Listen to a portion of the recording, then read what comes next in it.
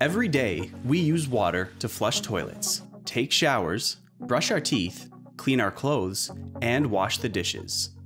The water we use, along with anything else that goes down the drain like shampoo, soap, laundry detergent, pee, poop, and toilet paper, is wastewater.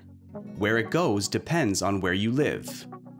If your home is in the country, you might have a septic system. The wastewater leaves your home through an underground pipe that drains into a tank buried in your backyard. Over time, the water filters out of the tank and back into the ground. It is important to have a licensed contractor clean out and inspect the tank every three to five years. If you live in a city or town, the local municipal government usually manages the wastewater after it leaves your property. In Waterloo Region, the wastewater leaves your home through a drain and enters a network of underground sewer pipes that go to one of the 13 wastewater treatment plants the region of Waterloo operates. At each plant, the wastewater goes through a complex, multi-step treatment process. After treatment, the liquids return to the Grand River watershed, and the solids become biosolids to fertilize farmers' fields or help restore contaminated ponds near old mines. Let's visit the Kitchener Wastewater Treatment Plant to learn how it happens. The Kitchener Wastewater Treatment Plant, located on Mill Park Drive in Kitchener, is the largest wastewater facility in Waterloo Region. Built in two phases starting in the early 1960s, the Kitchener plant has completed many upgrades, improving the quality of water returning to the Grand River. When the wastewater arrives at the plant, the process begins with screening and grit removal. The wastewater passes through a screen to remove larger items, including wipes, plastic bottles, and twigs. The items removed during this screening step then pass through the washer compactor in preparation for disposal. The flow then passes through a grit separator to remove smaller materials like sand and pebbles. The larger items, as well as the sand and pebbles removed during the screening steps, go to the landfill for disposal. The first two steps play an important role protecting downstream equipment from damage and reducing the risk of clogged pipes. Now for an important message from one of our wastewater professionals.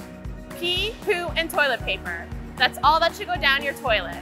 What shouldn't go down? Glad you asked.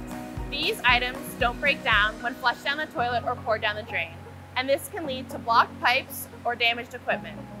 At your home, this can cause sewage to back up into your basement. For the wastewater system, this can lead to blocked sewer pipes, damaged equipment, and costly unnecessary maintenance at the wastewater treatment plant. And now back to the tour. The next step after screening and grit removal is the primary clarifiers. Here, the wastewater passes through four tanks, allowing time for the solids and liquids to separate. The liquids remain at the top, while the solids sink to the bottom of the tank. After this step, the liquids and solids take different journeys to complete treatment. Let's first talk about the treatment for liquids.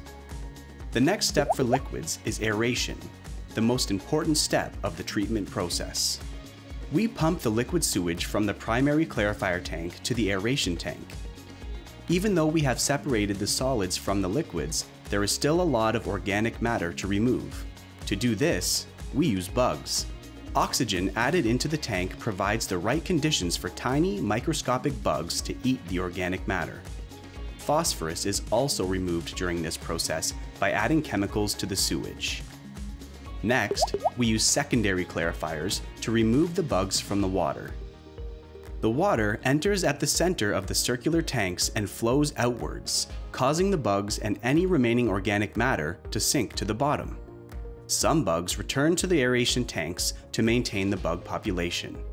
We pump the remaining solid matter to the digesters for treatment. More on that later.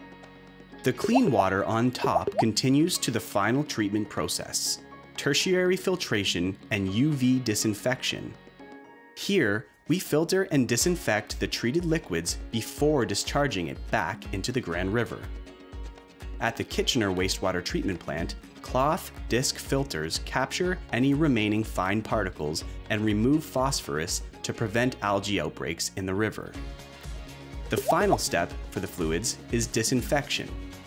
At the Kitchener plant, we use ultraviolet or UV radiation to disinfect the water. This inactivates the bacteria or E. coli that may remain during the treatment process. The clean water can now return to the Grand River to continue its journey through the water cycle. What about the solids? After the solids leave the primary clarifiers, they enter the digesters. We pump the solids into digesters where another group of tiny microscopic bugs get to work.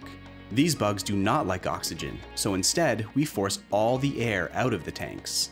While the bugs are eating the organic matter, they produce methane and carbon dioxide, two harmful greenhouse gases. The Kitchener plant uses technology to capture and convert the gases to produce green energy. This renewable energy helps to operate and heat the plant. The solids are now a soupy mixture we call sludge. At this point, transporting the sludge to its final destination would require many trucks.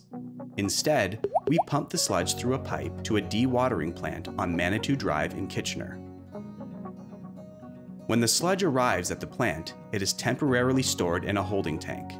The tank can hold approximately 1 million liters of sludge and is emptied daily during the weekdays. After the sludge leaves the tank, it is pumped through pipes to a centrifuge for dewatering. The centrifuge uses gravity and the force of speed to push the water out of the solids. Think of it like a really big salad spinner. Prior to the sludge entering the centrifuge, a polymer is added to speed up the dewatering process. The excess water leaves the centrifuge and returns to the Kitchener wastewater treatment plant through a pipe to rejoin the treatment process before returning to the Grand River. The sludge is now a dark, wet, soil-like solid we call biosolids. On average, 73 tons of biosolids are taken off-site each day. The biosolids are now ready to use as a product. This is only possible by following strict treatment and testing to meet provincial regulations. An auger system moves the biosolids from the centrifuge area to one of the three hopper bins. The hopper bins provide temporary storage of the biosolids until ready for loading onto a transport truck. When the truck arrives, it enters the loading area and stops, so the truck bed is underneath the four discharge chutes to be filled with treated biosolids. The auger system pushes the biosolids from each hopper bin and into the truck bed. Loading starts with the chute at the back of the truck and slowly closes each chute until reaching the front of the truck bed. After the truck is loaded, we transport the treated biosolids to provincially approved farms to fertilize fields, or to closed mines to return tailing ponds to a naturalized environment. Our wastewater treatment plants must meet strict environmental quality standards set by the provincial government. Throughout the treatment process, we test samples and monitor the process to make sure our facilities meet the standards and regulations to reduce harm to the natural environment. And now you know where the water in your sinks, showers, and toilets go. Learn more at regionofwaterloo.ca forward slash wastewater.